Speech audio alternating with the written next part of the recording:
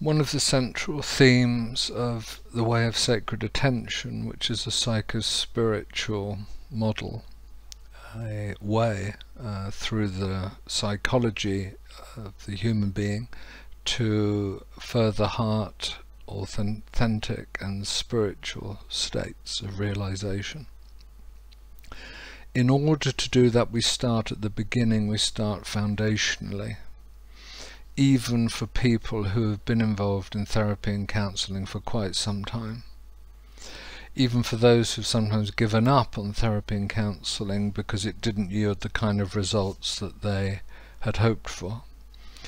There is the understanding perhaps that there's an attachment to early life conditions. In other words, there's a remedial state whereby adults are still living in reaction and in relationship to early life circumstances. Now part of the early life conditions and the strategies for survival that as children we wisely created for ourselves is the attachment to primary carers, important figures in early life, mother, father, uncle, aunt, sister, brother and so forth.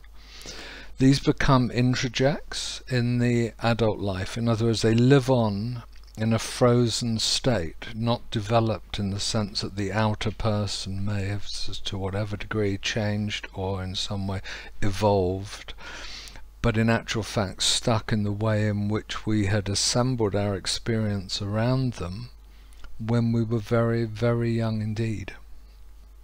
This can amount to uh, possession, of a certain character or even of a male or female principle. We call it animus or anima possession in that case.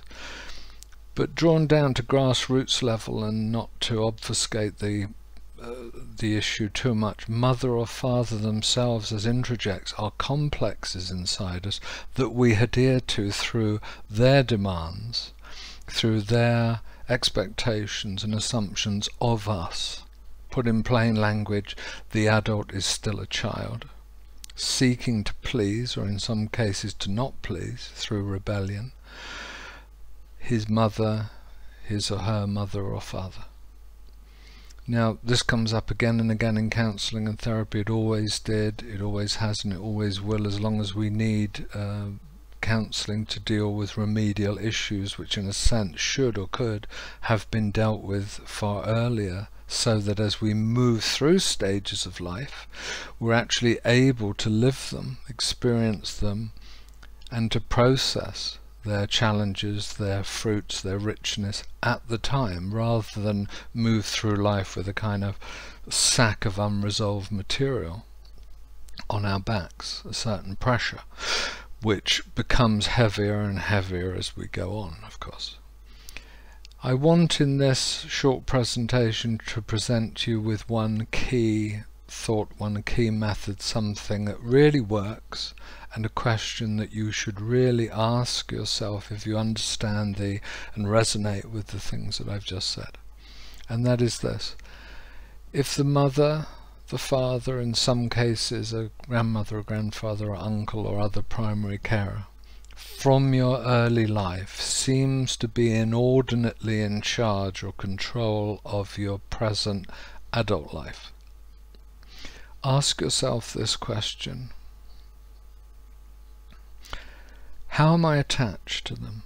How am I still attached to them? And what do I still want from them?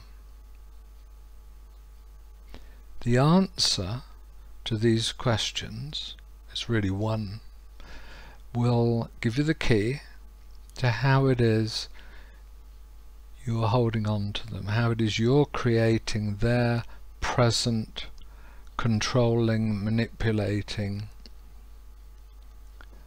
over-influential inner position in your life which affects all that you do and say and how you behave whether you succeed or fail, whether you feel you deserve a good relationship or a bad, and everything which is taking place. How am I still attached to fill in the gap? What do I want from them? Don't expect the answer to be rational or to make sense in present time. Doesn't have to, probably won't. Don't expect it to be rational.